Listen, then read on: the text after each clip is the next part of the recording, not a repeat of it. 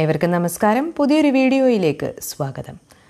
ഇന്ന് നമ്മുടെ വീഡിയോയിൽ പ്രതിപാദിക്കാൻ ആഗ്രഹിക്കുന്ന രചന വളരെയേറെ പ്രത്യേകതകൾ നിറഞ്ഞ ഒരു രചനയാണ്. ഒന്ന് അതിന്റെ ഉള്ളടക്കം തന്നെയാണ്. കഥാപാത്രങ്ങൾ കൊണ്ടും കഥാസവിശേഷത കൊണ്ടും കഥയിലെ സന്ദർഭങ്ങൾ കൊണ്ടും അതേപോലെ അതിന്റെ ആനുകാലിക പ്രസക്തി കൊണ്ടും സമ്പന്നമാണ്. പ്രത്യേകതകൾ നിറഞ്ഞതാണ് ഈ കൃതി. അതോടൊപ്പം ഇതിന്റെ എഴുത്തുകാരനും പ്രത്യേകതകൾ നിറഞ്ഞ ഒരു വ്യക്തിത്വമാണ്.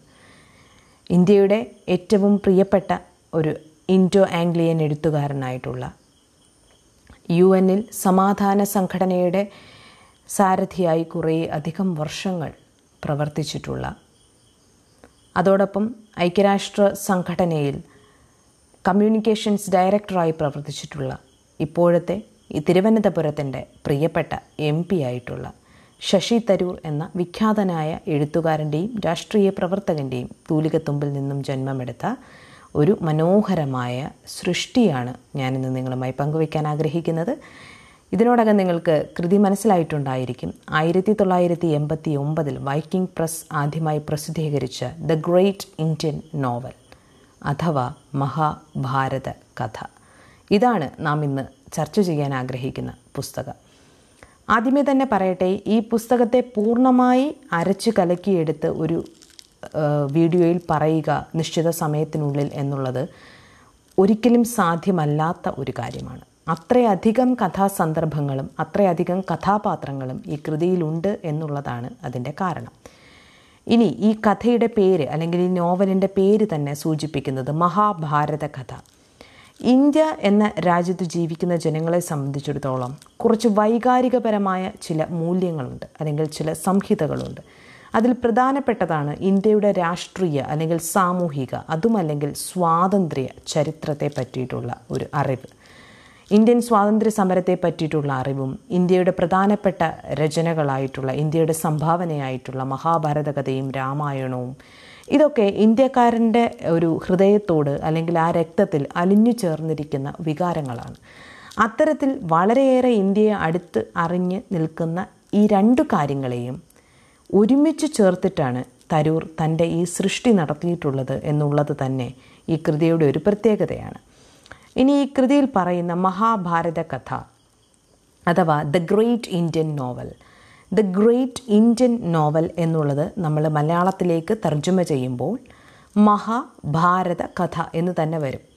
അപ്പോൾ ആ അതൊരു തരത്തിൽ അദ്ദേഹം ഇതൊരു ആക്ഷേപഹാസ്യം ഉപയോഗിക്കുന്ന രചനയാണ്. ഒരു സറ്റേറിക്കൽ നോവലാണ് അതിനാൽ തന്നെ ആ ഒരു ധ്വനി വരുത്തക്ക രീതിയിൽ തന്നെയാണ് അദ്ദേഹം ഇത് സൃഷ്ടിച്ചിട്ടുള്ളത് എന്ന് കഥാകൃത്ത് തന്നെ പലയിടത്തും ഏറ്റവും പ്രായോഗികമായി തന്നെ അദ്ദേഹം അത് പ്രതിപാദിച്ചിട്ടുണ്ട്. ഇനി ഈ കഥയിൽ മഹാഭാരത കഥയുമായി വരുന്ന ബന്ധം. മഹാഭാരത കഥ അല്ലെങ്കിൽ അവിടെ അതിലെ ആ ഒരു എപ്പിക്കിൽ പതിനെട്ട് കാണ്ഡങ്ങളാണ് നമുക്കുള്ളത്. അതേപോലെ കുരുക്ഷേത്ര യുദ്ധം എന്ന പ്രധാന യുദ്ധമാണല്ലോ മഹാഭാരത കഥ പറയുന്നത്. ആ യുദ്ധം നീണ്ടു നിന്നതും പതിനെട്ട് ദിവസത്തേക്കാണ്. അത്തരത്തിൽ അതിനെ രണ്ടിനെയും ഇടചേർത്തുകൊണ്ടായിരിക്കണം പതിനെട്ട് അധ്യായങ്ങളുമായിട്ടാണ് അല്ലെങ്കിൽ പതിനെട്ട് ബുക്കുകളുമായിട്ടാണ് തരൂർ തന്റെ ഈ സൃഷ്ടി നടത്തിയിട്ടുള്ളത്. കോമൺവെൽത്ത് പുരസ്കാരം നേടിയ ഈ രചന ഒരു വ്യക്തി തന്റെ ജീവിത കാലയളവിൽ വായിച്ചിരിക്കണം എന്ന് ഞാൻ വിശ്വസിക്കുന്നു. പ്രത്യേകിച്ചും ഒരു ഇന്ത്യക്കാരൻ. എന്തുകൊണ്ടെന്നാൽ അത്രയേറെ സംഭാവ്യമായിട്ടുള്ള അല്ലെങ്കിൽ അത്രയേറെ രസകരമായിട്ടുള്ള ഒരു രചനാശൈലിയാണ് തരൂർ ഇതിൽ പ്രയോഗിച്ചിട്ടുള്ളത്. എന്നാൽ നല്ല രീതിയിൽ ക്ഷമയില്ലാത്ത ഒരു വ്യക്തിക്ക് ഇത് വായിച്ചു തീർക്കുക എന്ന് പറയുന്നത് വളരെ ശ്രമകരമായ ഒരു ജോലിയായിരിക്കും. നമ്മുടെ സമയത്തിനെ വല്ലാതെ അപഹരിച്ചു കൊണ്ടുപോകാൻ തക്ക വലിപ്പമുള്ള ഒരു രചനയാണ് ഈ ഈ ഒരു പ്രത്യേക രചന. ഇതിൽ പ്രതിപാദിക്കുന്ന വിഷയം ഞാൻ മുൻപ് സൂചിപ്പിച്ചതുപോലെ തന്നെ കുരുക്ഷേത്ര യുദ്ധത്തെ മുൻനിർത്തിക്കൊണ്ട് ആ കഥയിലെ മഹാഭാരത കഥയിലെ കഥാപാത്രങ്ങൾക്ക് ഇന്ത്യൻ രാഷ്ട്രീയ ചരിത്രത്തിലെ വളരെ വലിയ വ്യക്തികളുടെ മുഖച്ഛായ നൽകിക്കൊണ്ട് ഒരു പുനഃസൃഷ്ടി നടത്തുകയാണ് തരൂർ ചെയ്യുന്നത്. അതായത് നമ്മൾ ജീവിച്ച ഒരു കഥ അല്ലെങ്കിൽ നാം കേട്ടിട്ടുള്ള ഒരു കഥ ആ കഥയിലേക്ക് നാം എന്ന വ്യക്തിയെ നിർത്തിയിട്ട് ആ കഥയിലെ കഥാപാത്രങ്ങളുടെ സവിശേഷതകൾക്ക് അനുയോജ്യമായിട്ടുള്ള വ്യക്തി സവിശേഷതകൾ നമ്മളിൽ ആരോപിക്കപ്പെടുന്നുണ്ട് എങ്കിൽ അത്തരത്തിൽ നിർത്തിയിട്ട് ഒരു കഥ ആ ഒരു തരത്തിൽ പറഞ്ഞു പോവുകയാണ് തരൂർ ചെയ്യുന്നത്. ഇനി ഈ ഈ ഒരു നോവലിൽ അദ്ദേഹം ഏറ്റവും കൂടുതൽ സ്വീകരിച്ചിരിക്കുന്ന മാർഗം മുതിർന്ന കഥാപാത്രങ്ങൾക്ക് അതായത് നാം കാണുന്ന ഭീഷ്മാചാര്യരാകാം അതുമല്ലെങ്കിൽ പാണ്ഡുവാകാം അതുമല്ലെങ്കിൽ ധൃതരാഷ്ട്രാകാം ഇവർക്കൊക്കെ പ്രാധാന്യം നൽകുകയാണ് അദ്ദേഹം ചെയ്തത് തരൂർ തന്റെ നോവലിൽ ചെയ്തത്. എന്നാൽ മഹാഭാരത കഥയിൽ അങ്ങനെ ഒരു പ്രാധാന്യം കൂടുതൽ എടുത്തു പറയാൻ സാധിക്കില്ല. കാര്യം ഒട്ടനവധി കഥാപാത്രങ്ങൾക്ക് വല്ലാതെ പ്രാധാന്യമുള്ളൊരു കഥയാണത്. കാര്യം അത്രയധികം വലിപ്പമുള്ളൊരു കഥയാണല്ലോ. ഓരോ കഥാപാത്രത്തിനും പ്രാധാന്യമുണ്ട്. ചില അപ്രധാന കഥാപാത്രങ്ങൾ അതിലുമുണ്ട്. എന്നാൽ ഇവിടെ വരുമ്പോൾ അദ്ദേഹം മുതിർന്ന കഥാപാത്രങ്ങൾക്ക് കൂടുതൽ ഇമ്പോർട്ടൻസ് കൊടുത്തു എന്നുള്ളത് എടുത്തു പറയേണ്ടിയിരിക്കുന്നു. എംഫസൈസ് ചെയ്തു. അതുകൊണ്ട് തന്നെ നാച്ചുറലായിട്ടും സ്വാഭാവികമായിട്ടും ഒരു കഥാപാത്രത്തിനെ കൂടുതൽ എംഫസൈസ് ചെയ്യുമ്പോൾ മറുഭാഗത്ത് നിൽക്കുന്ന കഥാപാത്രങ്ങൾ കുറച്ചൊന്ന് ഒന്ന് ഒന്ന് താഴ്ന്നു പോയി പോയി എന്ന് നമുക്ക് വേണമെങ്കിൽ കാണാം എന്ന് വായിക്കാം. ഇനി ഈ കഥ വായിക്കുന്ന ഒരാൾ തീർച്ചയായിട്ടും മുൻകൂട്ടി ചെറിയ രീതിയിലെങ്കിലും ഒരറിവ് മഹാഭാരത കഥയെ പറ്റിയിട്ടും ഇന്ത്യൻ സാമൂഹിക രാഷ്ട്രീയ ചരിത്രത്തെ പറ്റിയിട്ടും നേടിയെടുത്തതിന് ശേഷം ഈ കൃതി വായിക്കുന്നതായിരിക്കും നല്ലത്. അത്തരത്തിലല്ല എങ്കിൽ പലപ്പോഴും നമുക്ക് ഈ നമ്മുടെ മഹാഭാരതത്തിലൊക്കെ പറയുന്നത് പോലെ നമ്മൾ കേട്ടിട്ടുണ്ടല്ലോ അഭിമന്യു ഒരു ചക്രവ്യൂഹത്തിന്റെ ആ ഒരു പത്മവ്യൂഹത്തിന് ഇടയ്ക്ക് പെട്ടിട്ട് അദ്ദേഹത്തിന് തിരിച്ച് അദ്ദേഹം ഒരുപാട് വില്ലാളി വീരനാണ്. അദ്ദേഹം അവരെ എല്ലാം നശിപ്പിച്ചു. പക്ഷേ അതിൽ നിന്ന് പുറത്ത് കടക്കാൻ അദ്ദേഹത്തിന് സാധിച്ചില്ല എന്ന് പറയുമല്ലോ. അതേപോലെ നമ്മളും ഈ പുസ്തകത്തിനകത്ത് കുടുങ്ങിപ്പോവും. ഒരു അറിവ് മുൻകൂട്ടി നേടിയതിന് ശേഷം ഈ പുസ്തകം വായിച്ചാൽ നമുക്കത് കുറച്ചുകൂടി എളുപ്പമായിട്ട് കൈകാര്യം ചെയ്യുവാൻ സാധിക്കും. ഇതാണ് ഈ കൃതിയെ പറ്റിയിട്ട് പൊതുവേ തരാനുള്ള ഒരു ഇൻട്രൊഡക്ഷൻ ഇച്ചിരി കൂടിപ്പോയൊരു ഇൻട്രൊഡക്ഷനാണ് പക്ഷേ ഇത് കുറഞ്ഞു എന്നുള്ളത് നിങ്ങൾക്ക് ഈ കൃതി വായിക്കുമ്പോൾ മനസ്സിലാകും. ഇനി ഈ കൃതിയിലേക്ക് പോകുമ്പോൾ നമുക്കൊരിക്കലും ഈ കൃതിയിലെ എല്ലാ സന്ദർഭങ്ങളും പറയുവാൻ സാധിക്കില്ല. കാര്യം അത്രയധികം സന്ദർഭങ്ങളുണ്ട്. പ്രത്യേകിച്ച് നമ്മുടെ ശകുനിയുടെ പ പകിടകളി അതേപോലെ ധൃതരാഷ്ട്രരുടെ ഒരു ചെറിയ ചതിയുണ്ടല്ലോ. ഒരു അന്ധനായിരുന്ന തന്റെ മക്കളിൽ നിന്ന് അധികാരം നഷ്ടപ്പെടുന്നു എന്ന് തോന്നുമ്പോൾ അദ്ദേഹം കളിക്കുന്ന ഒരു കളി. അതേപോലെ പല പല സന്ദർഭങ്ങളും പല പല ഈ എപ്പിക് നോവലിലുള്ള അല്ലെങ്കിൽ എപ്പിക്കിലുള്ള ഒരു ഒട്ടനവധി സന്ദർഭങ്ങളെ ഇന്ത്യൻ രാഷ്ട്രീയ ചരിത്രവുമായി ബന്ധപ്പെടുത്തി വളരെ ഡീറ്റെയിൽഡായിട്ട് അദ്ദേഹം പറഞ്ഞു പോയിട്ടുണ്ട്.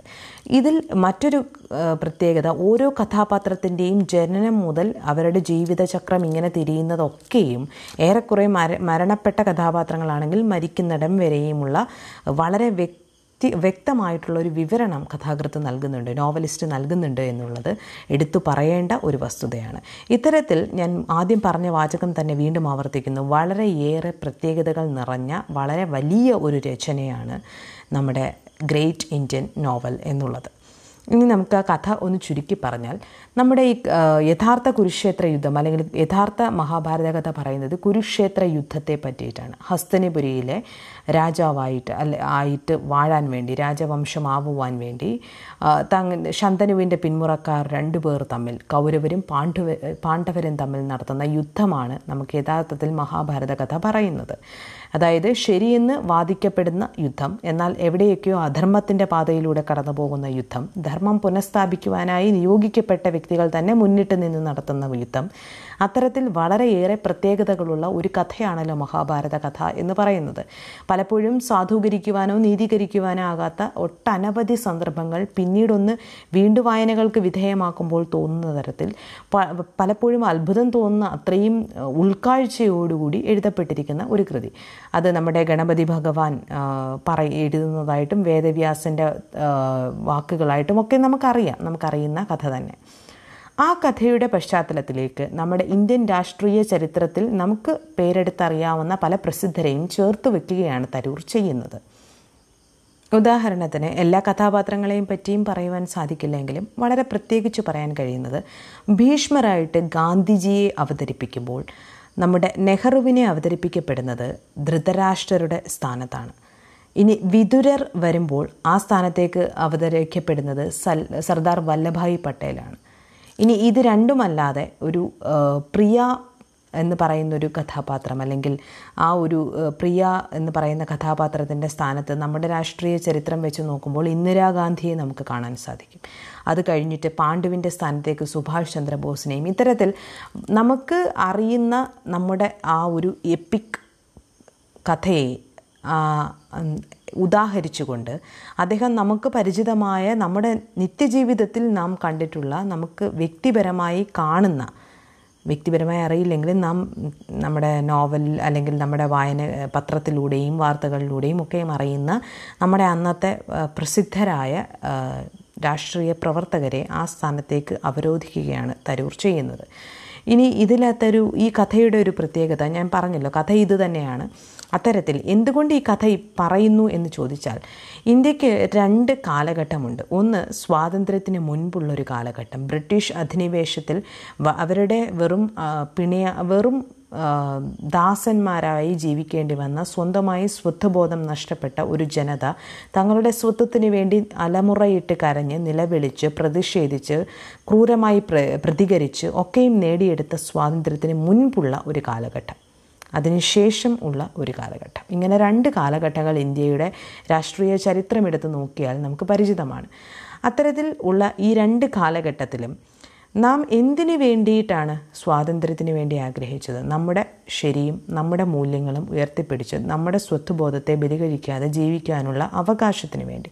നമ്മുടെ നാട്ടിൽ മറ്റ് വിദേശികൾ വന്ന് അധികാരം സ്ഥാപിച്ച് നമ്മളെ ചൂഷണം ചെയ്ത് നമ്മുടേതായിട്ടുള്ള നന്മകൾ കട്ടെടുത്തുകൊണ്ട് പോയി അവരുടെ ജീവിതം മോടി പിടിപ്പിച്ച് നമ്മളെ അടിയമകളാക്കി വെക്കുന്നതിനെതിരെയുള്ള പ്രതിഷേധമായിരുന്നു സ്വാതന്ത്ര്യ സമരം നമ്മുടെ നാട് നമ്മുടേതാക്കി മാറ്റുവാനുള്ള ഒരു പ്രതിഷേധം.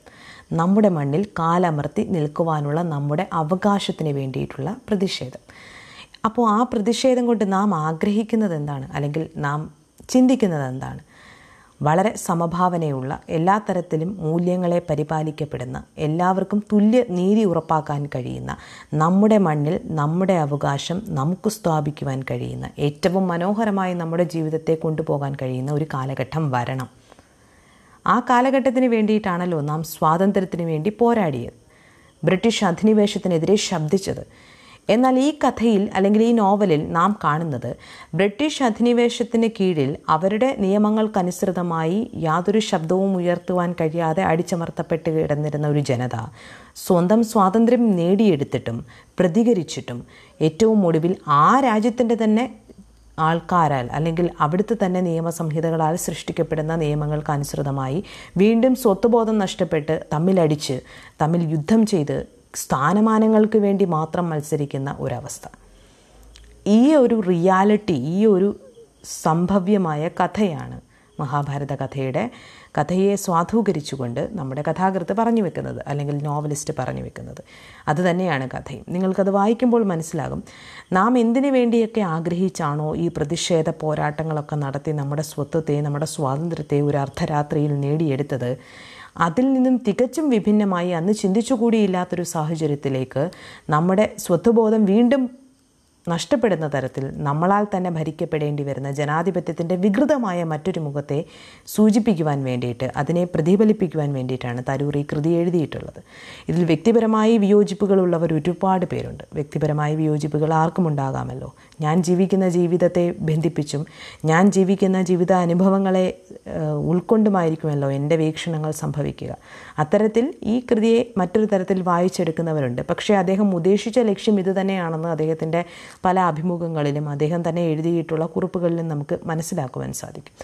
അത്തരത്തിൽ ഒരു ഇന്ത്യൻ ജനതയിൽ വിഷ് ഇന്ത്യൻ ജനത അല്ലെങ്കിൽ ഒരു ഇന്ത്യൻ പൗരൻ എന്നുള്ള തരത്തിൽ ഈ കൃതി ഉറപ്പായിട്ടും വായിച്ചിരിക്കണം. ഈ ഒരു സാഹചര്യം മനസ്സിലാക്കാൻ അത് വളരെയേറെ ഉപകരിക്കും. അതോടൊപ്പം ഈ കൃതിയിൽ എടുത്തു പറയേണ്ട മറ്റൊരു വസ്തുത ഞാൻ മുൻപ് പറഞ്ഞല്ലോ മഹാഭാരത കഥ എന്ന ഇന്ത്യയുടെ ഏറ്റവും പ്രിയപ്പെട്ട ഒരു സത്യത്തെ മുൻനിർത്തിയാണ് അദ്ദേഹം ഈ കഥ എഴുതിയിട്ടുള്ളത് നോവൽ എഴുതിയിട്ടുള്ളത്. ഇതേ നോവലിൽ അദ്ദേഹം ഇന്ത്യയെ പ്രതിനിധീകരിച്ച് അല്ലെങ്കിൽ ഇന്ത്യയെ അധിനിവേശത്തിന്റെ കണ്ണുകളിലൂടെ നോക്കിക്കണ്ട തരത്തിലുള്ള റൈറ്റേഴ്സ് എഴുത്തുകാരെ കൂടി ഈ കൃതിയിൽ അദ്ദേഹം മെൻഷൻ ചെയ്ത് പോയിട്ടുണ്ട്. പ്രധാനമായിട്ടും റുഡ്യാർഡ് കിപ്ലിങ്ങിനെ നമുക്ക് കാണാൻ സാധിക്കും സൽമാൻ റഷ്ദിയെ കാണാൻ സാധിക്കും ഇ എം ഫോസ്റ്ററിനെ കാണാൻ സാധിക്കും. അവരുടെയൊക്കെ കഥാപരമായ മൂല്യങ്ങളും അവരെങ്ങനെയാണ് ഇന്ത്യയെ നോക്കിക്കണ്ടതെന്നും അവതരിപ്പിച്ചതെന്നും ഒക്കെയുള്ളതിന്റെ വേറൊരു ചിത്രം കൂടി ആംഗ്ലോ ഇന്ത്യൻ എഴുത്തുകാരനായിട്ടുള്ള തരൂർ നൽകുന്നുണ്ട്. കാര്യം അദ്ദേഹത്തിന്റെ ഭാഷ സമ്പന്നമാണ്. വളരെ മനോഹരമായി മലയാളവും അതിലും ഏറെ മനോഹരമായി ഇംഗ്ലീഷും കൈകാര്യമായി കൈകാര്യം ചെയ്യുവാൻ കഴിയുന്ന ഒരു വ്യക്തി എന്നുള്ള നിലയിൽ അദ്ദേഹത്തിന് തന്റെ ഒഴുക്കിനനുസരിച്ച് എഴുതി പോകുവാൻ യാതൊരു ബുദ്ധിമുട്ടും ഉണ്ടായിരിക്കില്ലല്ലോ. തരൂരിനെ കേൾക്കുമ്പോൾ നമുക്കിങ്ങനെ ഒരു ഒരു ഒഴുക്ക് പോലെയാണ് തോന്നുന്നത്. അത്രയേറെ ഭംഗിയായി ഭാഷ കൈകാര്യം ചെയ്യുവാൻ അറിയുന്ന ഒരു എഴുത്തുകാരനാണ് തരൂർ. അതേപോലെ ഈ കൃതിയും അത്തരത്തിൽ വളരെ ഭംഗിയായി ഒരു ഒഴുക്കിൽ എഴുതിപ്പോയിരിക്കുന്ന കൃതിയാണ്. പക്ഷേ ഇതിലെ പേജുകൾ ഏറെക്കുറെ വലിയ എണ്ണത്തിൽ വരുന്നത് കൊണ്ട് ഒറ്റ ഇരിപ്പിലോ രണ്ടിരിപ്പിലോ ഒന്നും വായിച്ചു തീർക്കുവാൻ സാധിക്കില്ല ഒരു പക്ഷേ. അതേപോലെ ഞാൻ മുൻപ് സൂചിപ്പിച്ചതുപോലെ ഒരു മുന്നറിവില്ലാതെ ഈ പുസ്തകം വായിക്കാനെടുത്താൽ തീർച്ചയായും അത് നമ്മളെ നിരാശപ്പെടുത്തും. ഇന്ത്യയുടെ ഭൂതകാലത്തെ മറന്നു പോകാതെ തന്നെ ഇന്നത്തെ ഇന്ത്യയെ അപനിർമ്മിച്ച ആ ഒരു ശക്തികളുണ്ടല്ലോ. അല്ലെങ്കിൽ ആ ഒരു പ്രസ്ഥാനം അല്ലെങ്കിൽ ആ ഒരു വ്യക്തികളുടെ ആ ഒരു കൂട്ടം അവരെക്കുറിച്ച് പറയുവാനായിട്ടാണ് കഥ നോവലിസ്റ്റ് ഈ കഥ അല്ലെങ്കിൽ ഈ ഒരു വാഹനം മഹാഭാരത കഥ എന്നൊരു തിരഞ്ഞെടുപ്പ് നടത്തിയിട്ടുള്ളത് എന്ന് ഞാൻ വിശ്വസിക്കുന്നു. സത്യത്തിൽ നമ്മുടെ ഇന്ത്യയുടെ ഒരു ഐഡിയ എന്ന് പറയുന്നത് തന്നെ നാനാത്വത്തിൽ ഏകത്വം എന്നുള്ളതാണ്. ബഹുസ്വരങ്ങളുടെ അല്ലെങ്കിൽ അത്തരത്തിൽ വിവിധ രീതികളുടെ ഒരു സമന്വയമാണ് ഇന്ത്യ. ഭാഷയുടെ കാര്യത്തിൽ വേഷവിധാനത്തിന്റെ കാര്യത്തിൽ ആശയങ്ങളുടെ കാര്യത്തിൽ സംസ്കാരത്തിന്റെ കാര്യത്തിൽ ഭക്ഷണത്തിന്റെ കാര്യത്തിൽ. എന്ത് കാര്യത്തിലായാലും ഒന്ന് എടുത്തു നോക്കിയാൽ മറ്റേത് രാജ്യത്തെക്കാളും മറ്റേത് ലോകരാഷ്ട്രത്തെക്കാളും ബഹുസ്വരതകൾ സൂക്ഷിക്കുന്ന ഒരു രാജ്യമാണ് ഇന്ത്യ. എന്നാൽ നമ്മളെ ഒക്കെയും ഏത് മതത്തിന്റെയും ഏത് രാഷ്ട്രീയ ചേരിതിരിവിന്റെയും ഏത് വസ്ത്രവിധാനത്തിന്റെയും ഏത് വേ സോറി ഏത് വേഷവിധാനത്തിന്റെയും ഏത് തരത്തിലുള്ള സംസ്കാരത്തിന്റെയും വ്യത്യസ്തതകൾക്ക് അപ്പുറം നിന്നും ഒരുമിച്ച് ചേർക്കുന്ന ഒരു ശക്തിയാണ് ഇന്ത്യ എന്നൊരു വികാരം.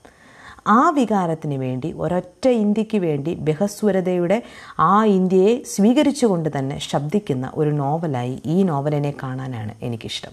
അത്തരത്തിൽ തീർച്ചയായിട്ടും സമയം കണ്ടെത്തി ജീവിതത്തിന്റെ ഏതെങ്കിലും ഒരു കാലഘട്ടത്തിൽ ഏതെങ്കിലും ഒരു സമയത്ത് വായിക്കുവാൻ ഇഷ്ടമുണ്ടെങ്കിൽ നമുക്ക് ഒരു ഒരു തരത്തിൽ ഒരു മിനിമം അറിവെങ്കിലും നമ്മുടെ രാഷ്ട്രീയ സാമൂഹിക അവസ്ഥകളെ പറ്റിയും നമ്മുടെ പ്രധാനപ്പെട്ട മഹാഭാരത കഥ പോലെയുള്ള എപ്പിക് ക്രിയേഷൻസിനെ പറ്റിയിട്ടുമുണ്ടെങ്കിൽ തീർച്ചയായിട്ടും ഈ കൃതി വായിക്കണം.